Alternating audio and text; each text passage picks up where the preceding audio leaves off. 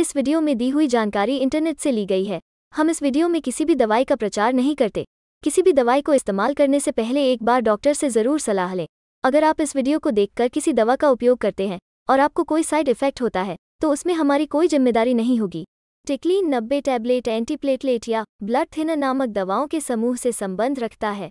यह रक्त वाहिकाओं में हानिकारक रक्त के थक्कों के गठन को कम करता है। यह हृदय रोग वाले लोगों में दिल के दौरे या स्ट्रोक को रोकने में मदद करता है।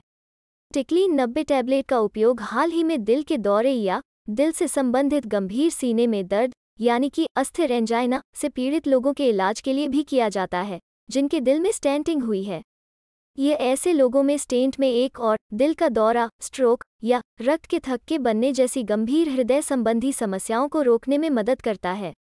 आपका डॉक्टर इस दवा के साथ एस्पिरिन एक अन्य एंटीप्लेटलेट दवा भी लिखेगा।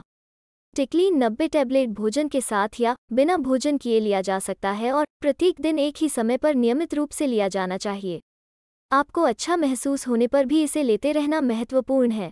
यदि आप इस दवा को लेना बंद कर देते हैं तो इससे आपको एक और, दिल का दौरा या स्ट्रोक होने की संभावना बढ़ सकती है। इस दवा के साथ देखा जाने वाला सबसे आम दुष्प्रभाव रक्तस्राव है। यदि आप अपने आप को काटते या घायल करते हैं तो रक्तस्राव को रुकने में सामान्य से अधिक समय लग सकता है। रक्तस्राव के ऐसे एपिसोड आमतौर पर हल्के होते हैं और अपने आप ठीक हो जाते हैं।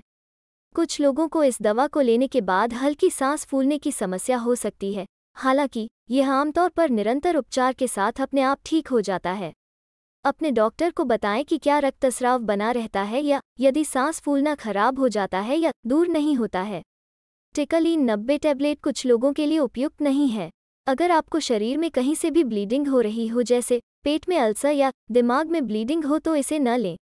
यह जिगर की बीमारियों वाले लोगों के लिए भी अनुशंसित नहीं है। दवा का उपयोग करने से पहले अगर आपको ऐसी कोई समस्या है तो अपने डॉक्टर को सूचित करें। वीडियो को पूरा देखने के लिए धन्यवाद। अगर आपको वीडियो अच्छी लगी हो तो वीडियो को लाइक करें और साथ ही हमारे चैनल को सब्सक्राइब करके नोटिफिकेशन बेल आइकॉन पर क्लिक करें। और ऑल नोटिफिकेशन को क्लिक करें। धन्यवाद।